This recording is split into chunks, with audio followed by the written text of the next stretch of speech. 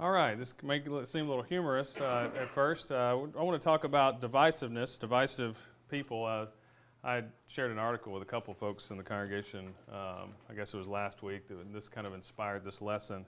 I'm going to be uh, taking some excerpts from that. Uh, it may not seem immediately obvious. You, you know, if you remember the old cartoon Popeye, you know, Brutus, he was the rough and tough guy, and he was obviously, you know, causing problems in, in groups. And he could, a, guy like that in our congregation could definitely cause problems. But also, uh, the candy man, you know, the ice cream man, the guy you never seem expecting, you know, those people can be equally as dangerous, and that will be brought to light as we go through this presentation. I want to uh, remind you of the Tower of Babel. Everybody knows the Tower of Babel, the, the story. Do you remember why they could, had to stop work on the Tower of Babel? Well, it was because God confused their languages, right? Caused disunity among the group. They couldn't communicate with each other. They couldn't speak the same thing or do the same thing. And so, as a, as a result, the work had to stop and they had to go to other places. It just, it just came to an end. Well, I'm not talking about necessarily the Tower of Babel. Uh, today, I want to talk about the work stopping, though. And, and, when we're not unified, if Satan, if you want to twist this analogy around, if Satan somehow stops us from working on God's castle, uh, not necessarily confuse our languages, but we stop speaking the same things, we stop working together, stop communicating, um, then the same thing can occur. Divisions can occur. I want to remind us of this passage in 1 Corinthians chapter 1 and verse 10, which says, Paul's pleading to the church in Corinth. He says, Now I plead with you, brethren, by the name of our Lord Jesus Christ, that you all speak the same thing, and that there be no divisions among you, but that you be perfectly joined together in the same mind and in the same judgment. And this is from the New King James Version. I like how this verse is translated. It talks about being perfectly joined, you know, being perfected in this, in this joint uh, partnership that we have, but it, it, occurs by us all speaking the same things and not having any divisions among us. And that brings us to the passage that we're going to be basing the rest of this lesson on today, which is Romans chapter 16, verse 17 through 20. I, if you have a Bible in front of you, I encourage you to turn to uh, the book of Romans and flip over to chapter 16. Um, and as, as we go through this lesson, just look down at your Bible and refer back to this. I'm going to have the scriptures on the board, but I'd like for you to also read it in your own have in front of you as well to, to refer to during this lesson because I'm not always going to have the scripture on the board and I may be making some points along the way that you might want to refer to. And the passage says this It says, Now I urge you, brethren, note those who cause divisions and offenses contrary to the doctrine which you learned, and avoid them. For those who are such do not serve our Lord Jesus Christ, but their own belly, and by smooth words and flattering speech deceive the hearts of the simple. For your obedience has become known to all, therefore I am glad on your behalf. But I want you to be wise in what is good, and simple concerning evil. And the God of peace will crush Satan under your feet shortly. The grace of our Lord Jesus Christ be with you. Amen. And so our outline is going to be taking on uh, these three sections. And I want to remind us because this warning is found in God's Word, God doesn't waste words in the Bible. You know, He tells us stuff for a reason. It's likely that we'll face these problems at some point in time. And so that's why we need this, these instructions. There will be uh, people in the church from time to time that we're being asked to avoid.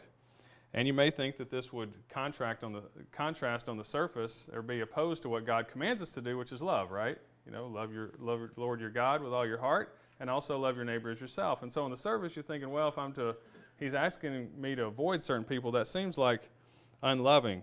But it's not a contradiction. Sometimes our service to others, what God commands us to do, demands that we do avoid certain people. And so we're going to be studying this uh, passage in three main sections Paul's appeal to them. Uh, we're going to look at divisive people with instruction what we can learn uh, about divisive people from this passage, and also finally, God's promise, uh, which brings hope for the future. So let's look at Paul's appeal first. In verse 17, he says, Now I urge you. I think King James Version says, I beseech you. Um, so it's a strong uh, urging there. I urge you, brethren, note those who cause divisions and offenses, contrary to the doctrine which you learned, and avoid them. So it's Paul's pleading for his readers to do two things to watch out and to avoid. Now, to watch out is really to keep your eye on somebody. It's, it's literally to bend away from, if you look at the Greek word, or as it's commonly been defined, to fully avoid or to deliberately, uh, to take deliberate and decisive action. And there may be people in the church that we must identify and move away from. And the reason is that divisive people are, in fact, dangerous uh, according to God. Now, some might ask, uh, well, isn't this being judgmental? Is this being unloving? Uh, no, uh, it can be. Uh, we're judgmental if we look down on someone as though we're morally superior to them. You know, like we're putting ourselves saying we're we don't have any problems and you have all the problems. But this appeal is for something different. It's something more like discernment. I feel. Uh, we must be able to identify dangerous people within the church without slipping into this state of being judgmental. Uh, God's command is for us uh, to love, but it does not mean that we should uh, accept or ignore divisiveness in the name of uh, humility or, or anything else. We can't avoid it. avoidance, as being commanded here, his plea to avoid is not any kind of coldness or cruelty, as it may seem. But it's also not pretending that the problem doesn't exist. In fact, if we, if we look the other way, then that would be equally as wrong, right? Because we're ignoring uh, the instruction. Avoidance is uh, deliberately keeping distance and, and purposefully refusing to, to move toward or, or get close to certain uh, people. Avoiding divisive people means not being their best friend, not trusting our hearts in their hands, not encouraging them in, into positions of leadership, not opening our home to them, etc. It's really distancing ourselves from them and moving away uh, from association with them. But avoidance, I want to point out, it's, it's not hiding. It's not a cowardly thing. And sometimes we, we don't want to, that's what we want to do. We just want to hide from the problem. But avoidance is not hiding. Uh, for example, if you see somebody um, in the grocery store that we're supposed to be avoiding, are you going to duck behind the aisle? You know, are you gonna are you gonna act like you're looking for something on the bottom shelf and and, and you weren't there? That's not what this is. You know, um, uh, this kind of avoidance is, is more valiant than that. God's not asking us to be cowardly. In fact, to do to do that, to to to, to hide is is uh, deception, and it and it's it's not forthcoming and it's not it's not what God wants. Uh, it is a clear thinking commitment to watch out for and steer clear of dangerous people uh, within the church. Again, this is a command that Paul is writing to the church in Rome, and that's why the letter is called Romans. And so he's encouraging everyone in the church uh, to do this. So here's some questions I want us all to ask ourselves Are we watchful for divisive people? Um, like I said, God doesn't waste words. This is going to come up from time to time. We need to be aware of it as a congregation and individually. Are we following God's commands to avoid them, or are we neglecting our responsibility to do that? now, are we using godly discernment in our judgment, or are we being cruel and judgmental in executing this? Now, this would be equally as wrong. And this would be equally as wrong. Are we cowardly or deceptive through our avoidance? See, all these things would be wrong. So we have to do execute this, but we have to do it in a godly way, the way that God wants us. And again, when we set we set some goals for ourselves for this year, and it was to, to, to set ourselves to a godly standard, to hold each other accountable to a higher standard. And I think all of these things uh, we need to be uh, considering. So back to our outline, um, let's look at uh, divisive people. He talks a little bit about some characteristics of divisive people. And the question is, how can we tell which people that we should be avoiding from this passage? Well, let's look at 17 and 18 again. He says, Now I urge you, brethren, note those who cause divisions and offenses contrary to the doctrine which you learned, and avoid them. For those who, uh, who are such do not serve our Lord Jesus Christ, but their own belly, and by smooth words and flattering speech deceive the hearts of the simple. So, how can we tell which people to avoid? Well, God tells us in these verses. But before we get into that too much, I think it should be um, noted that this is not an, an appeal to just avoid people who may, we may find being difficult. Okay? Uh, of course, God, um, of course, these people you would like to deliberately, decisively avoid. You know, some people they just get on our nerves or they irritate us, and we want to avoid those people. We find them difficult to deal with, and we want to avoid those people. That's not what he's talking about here. Some people we may be intimidated by, or we don't like how they behave uh, in a certain way. They just, they just get on our nerves. That's not what he's talking about here. This appeal is in reference to a specific kind of people in the church. These are people that are not just difficult, these are people that are labeled as being dangerous for, the, for, the, for what they actually cause the church, uh, the, the damage that they cause. So, also, before we, we get into this, uh, we need to remember well, let me just follow up here. It's not merely difficult people, it's not just annoying people, it's not just intimidating people, it's dangerous people. Everybody has that. And I want to remind everybody that this is not a witch hunt. You know, this is not an opportunity for us to uh, sit around in the pew out there and think, okay, well, you know, that person's divisive, this person. Th- this message is towards you too, each and every one of us. This is for us to get something out of.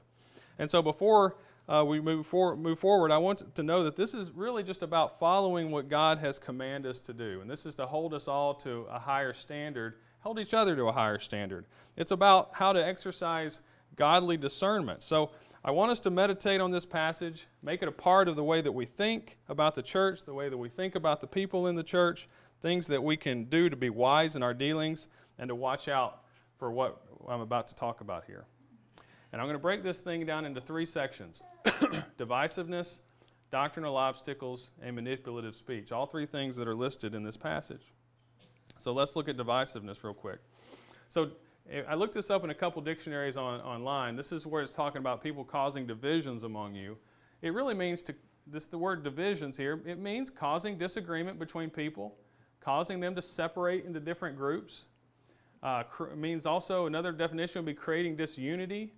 These people are often at the center of, of problems.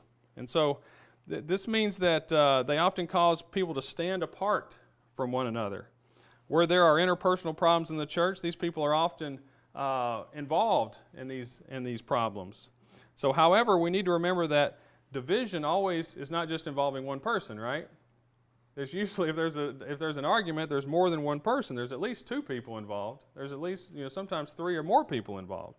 But that being said, not everyone involved in some kind of dispute is a divisive person. But, you know, if over the years a common denominator keeps emerging with such problems, then we need to start looking out to see if there may be some divisive people in the midst of those uh, disputes.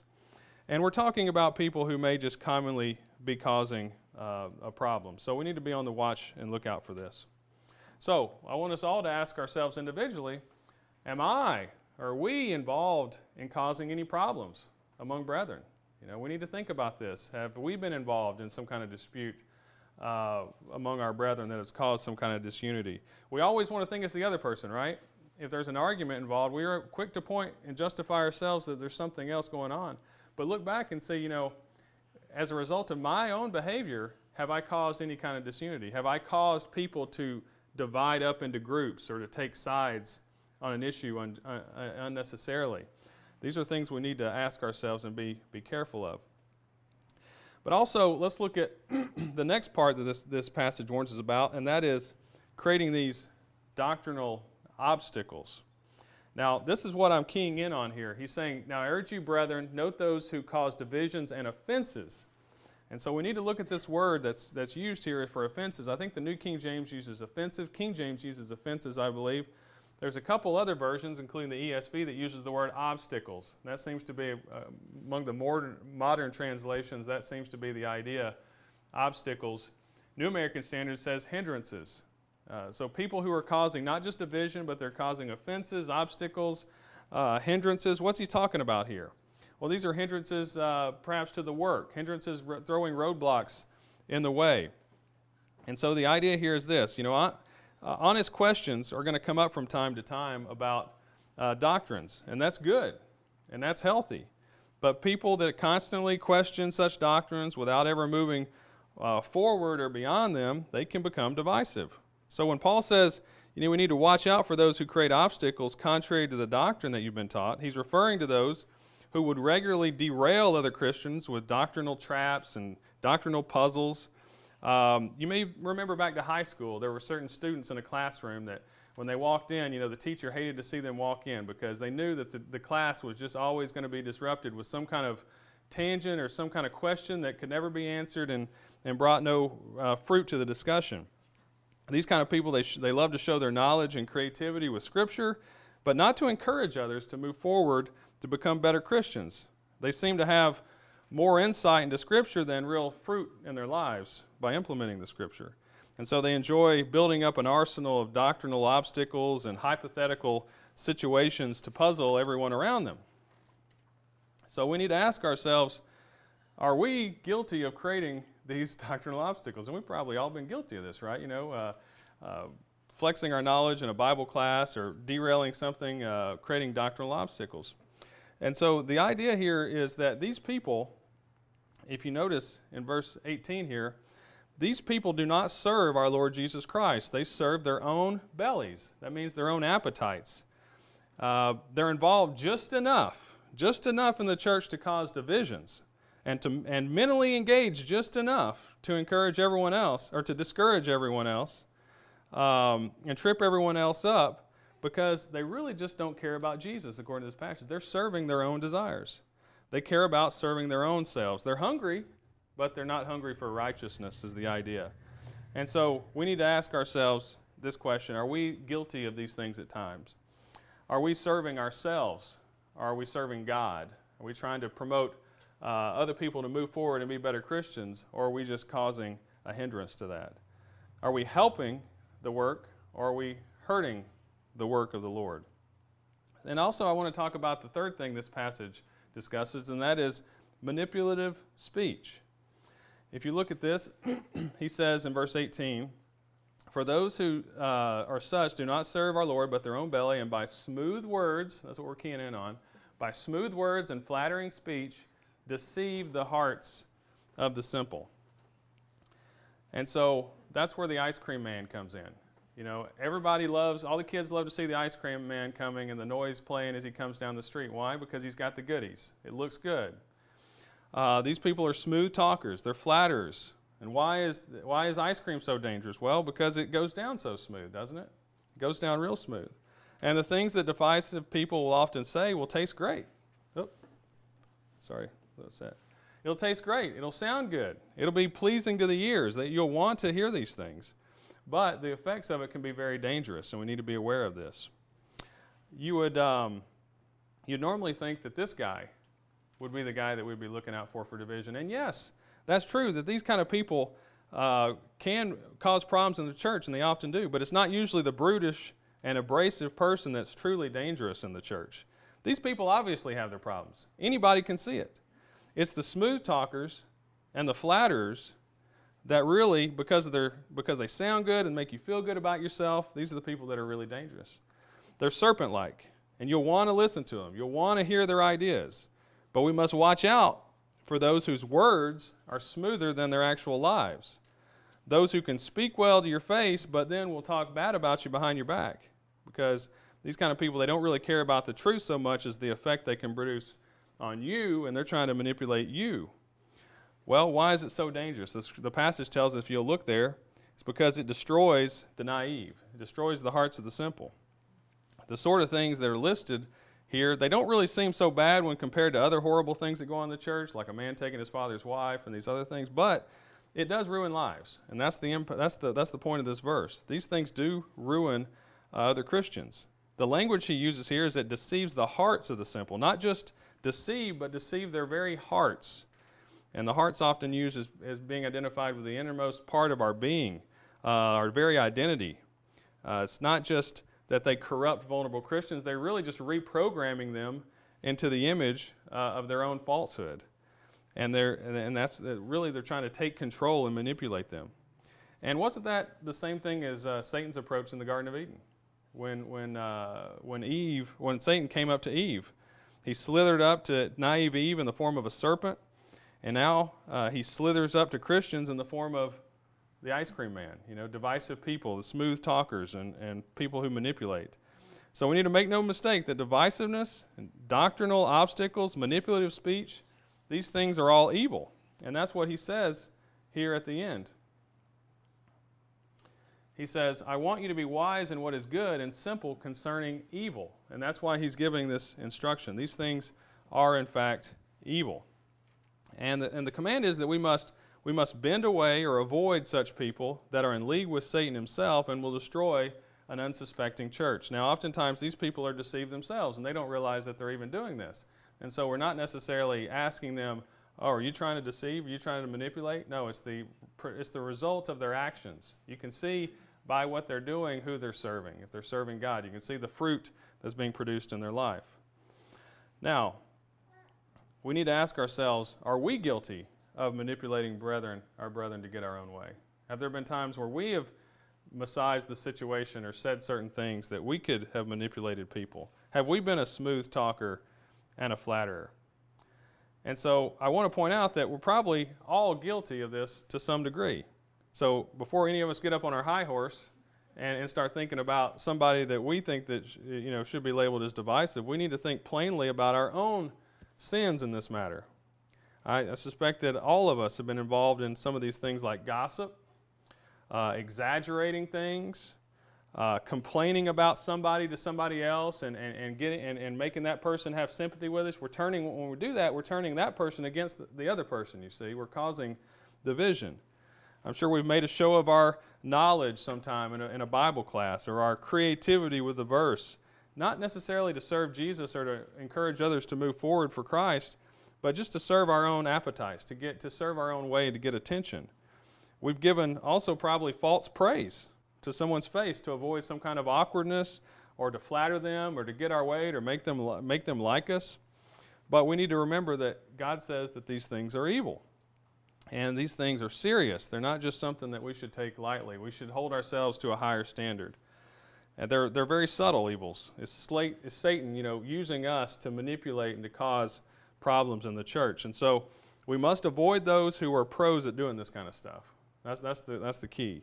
Uh, we must pursue unity. We must pursue doctrinal purity and honest, honest speech with one another, honest and forthcoming speech, not being hiding, not avoiding problems, but actually addressing these things. So what do we should do? We should despair, throw our arms up in the air, and say, "Ah, oh, you know, you know, I'm, I'm discouraged now that, that Joe's talked about this, and, and I'm going to go home. I'm really bummed out." No, because there's a promise at the end of this, God's promise. And that is, he says, and the God of peace will crush Satan under your feet shortly. You know, that's what he was encouraging the Romans. He says, The grace of our Lord Jesus Christ be with you. Amen. And so, in all these things, we can never despair. We must never despair, never give up, because God will soon crush Satan, who is ultimately the one behind all of, all of this manipulation and divisiveness that's being caused. He's going to crush him under our feet. And so, as a result of that, we have much to rejoice about, don't we? We have much to be happy about and hopeful for the future. We need to have confidence that we can move forward as, as a church and, and be watchful and, and be mindful that God is going to, His will will be done and that He will ultimately, He always wins. And so, in closing, I want to remind us of these things. We need to watch out, but we don't need to be suspicious.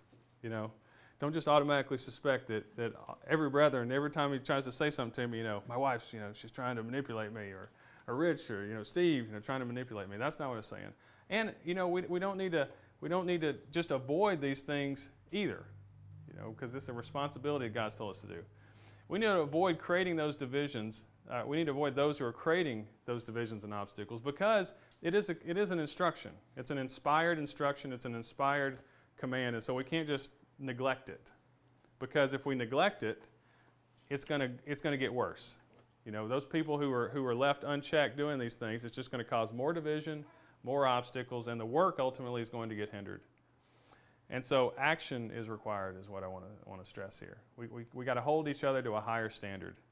And, and we got to hold ourselves to a higher standard. So we're not just, not just pointing the finger at other people, you see. Um, the Bible tells us we have to get the log out of our own eye you know, before we can effectively help other people. We need to ensure that we're not the problem, in other words. We need to ensure that we're not, we may not be doing the thing that the other person is doing, but we may be doing something just as bad. You know, we may not be causing fights in the parking lot, but we may be gossiping behind other people's back. You see, and, and they're both divisive. And so we need to also know that God will crush Satan. And that, I take great encouragement from that. You know, um, the idea that your sin will find you out. Sin will surface at some point. It, will not be hid forever. I take great comfort in knowing that and hopeful for the future. Um, again, this has is, is been a lesson going towards uh, our goal to hold each other for a higher standard for the year. One of those things we need to make sure that we're not uh, accepting a lower standard of, of unity, a lower standard of, of just being a congregation that, that says it's okay to gossip behind other people's backs. It's okay to turn brethren against other brethren. It's okay to, to do these kinds of things to, to show off in, in a Bible class or disrupt the work of the church. It's not okay to do those things. We need to be unified so that we can create and, and build for God and, and bring glory and praise to Him, not ourselves. And so it's our custom to uh, provide an invitation at this time. Those who uh, want to respond in a particular way, want to repent of sins or accept the gospel of Jesus Christ, commit your life to Christ. Maybe somebody has never committed their life to Christ and want to do that. Maybe you once committed it and you need to recommit. We encourage you to do that too. We want you to be a part of God's work. God wants you to be a part of His work in His kingdom. And more importantly, you can't do that if you're still in your sins. Um, and, and I, I, don't know why, why you'd be concerned about building if you still have uh, sins that you don't have taken care of. There's priorities involved. And so the most important thing is we need to be a vessel that's holy and ready to be used for the master's service. And God says no matter what we've done, that we can, we can do that. But we can't be expected to be used in a useful way to God while we're still in an unholy situation, you see. In order to do that, we've got to purify ourselves to become ready that, that, that God would use us. For, you know, just like my wife uh, would wash the dishes and, you know, and everything's prepared so that it can be used. We have to get the, remove all the dirt from ourselves, which is the sin in our lives. And that's what, that's what we do through the blood of Jesus Christ. And so if you haven't accepted the blood of Jesus Christ to cleanse you of your sins, I, I encourage you to do that. We do that by uh, believing uh, that He is the only way to heaven, that, we have peace with God through Him. And then we make a, a, conscious decision to turn away from our current lifestyle, stop following our own desires, and start following what He wants us to do. And that's, that's, that's called belief and repentance. You know, repenting from what I want to do and, and following God. In Acts, you know, in Acts 2.38 says, if you repent and be baptized, you'll be forgiven of your sins. And so uh, baptism, we're baptized into Christ, become a part of His body, and then we live faithfully. We Matthew 28 says, you know, that we're supposed to teach those to do all the things that Christ had commanded to do. And so we encourage you to do that. If anyone is subject to that invitation this morning, um, we ask you to uh, make your needs known. If you don't want to do it in a public way, we ask you to get those questions you might have answered. But what we're looking and encouraging you to do is to make a commitment, make a bigger commitment to Christ, make a bigger commitment to your service to God. And also, don't be a hindrance to the work you know, help the work and not hurt the work, and also be watchful for those who may uh, cause hindrances, divisions, and obstacles. If you're subject to the invitation, we ask you to come forward as we stand and sing.